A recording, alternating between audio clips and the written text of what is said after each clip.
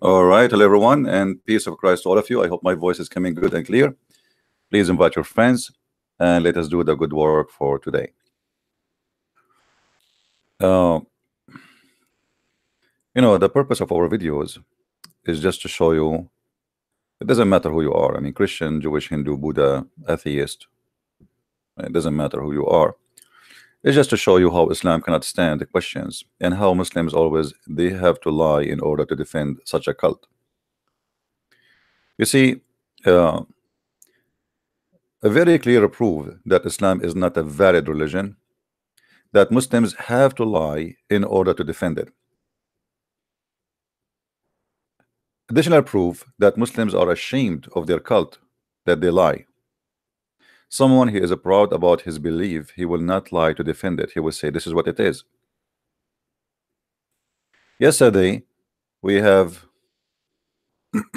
a session for eight hours, and actually, I don't mind even to stay for many hours more. But you know, YouTube gave us only eight hours for uh, live streaming. I don't know how, how some channel they can do 24 hours. I'm not sure how that can be.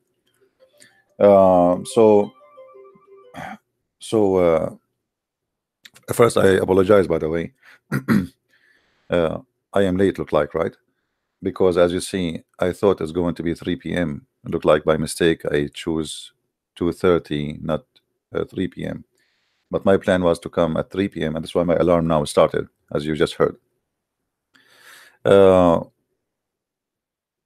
so yesterday, we showed you how Muslims always they try to deceive us. Muhammad, he marry women just because they have orphans. Mm. Look, Aisha, she have a lot of orphans too. She was six years old. so Sauda, she has orphans. What's how, what are you talking about? Sophia, she have she he killed her family. I mean, they are willing to fabricate anything desperately to defend this sex maniac, self-proclaimed prophet.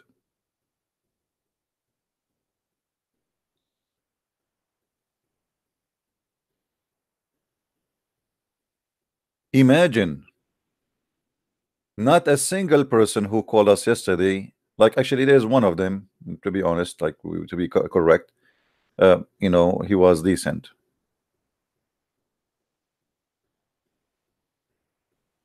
The guy he said he wanna call his sheikh to call me, if you remember, from Pakistan. The other guy, he said to us that the Quran says that you can marry you can what? You can marry. You can marry four women or four slaves. But the Quran doesn't say that. The Quran says go and if two and three and four and if you cannot afford it go for one which is a free woman and the free the slaves as many as you have. And you can go your homework there's tons of videos explaining how many slaves you can have in Islamic world, unlimited. The caliphate used to have between, like as, a, as an example, uh, there's a caliphate, his name Harun Rashid. Rashid. In one palace, he have about 10,000 slaves, and they are divided. Some they are for belly dancing, some they are for sex, some they are for cooking, some for etc. So 10,000 slaves owned by one man in one palace.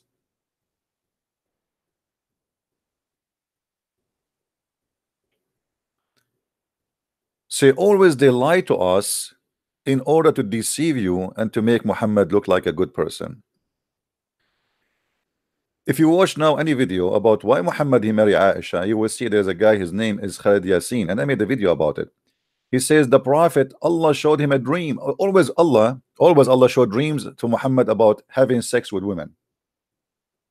Muhammad he saw a dream. Allah told him that you are going to have sex with with, with, the, with, with your own son wife. So he forced the son to give him his wife. To the point Aisha she said Inni ara rabbuka yusari'u ila hawaka ya Muhammad. I see your your God he rushed into your sexual desire Muhammad. Do you believe it? Aisha she is not stupid. And for sure she was saying that based on jealousy but it's true.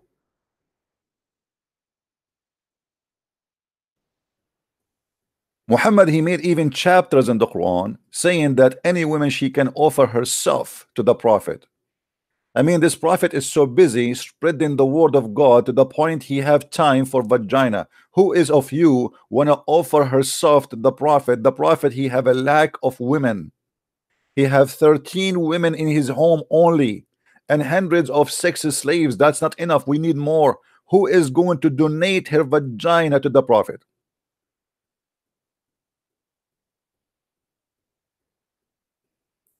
And excuse my language. I'm talking about Islam. If you are sensitive don't listen to me. I say things as it is.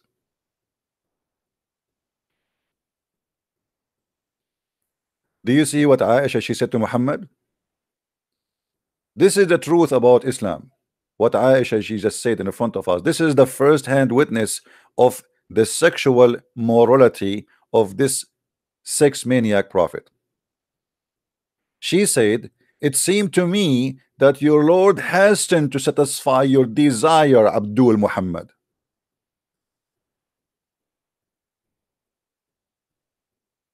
He have a wife next to him and a wife next to her another wife next to her another wife next to her another wife next to her another wife next to her. Should we continue? So why you need women to give themselves to you?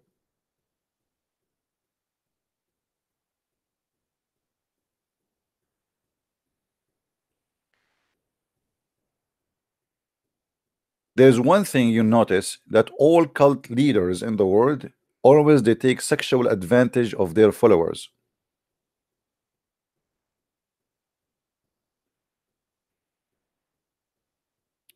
you can find that in America you can find that in Europe you can find like you know they claim to be the Christians but they are the same as Muhammad. They take sexual advantage of their followers like the Mormon etc many. I am the prophet sleep with me. I mean come on you have you have a holy duty now to make the testicle of the prophet happy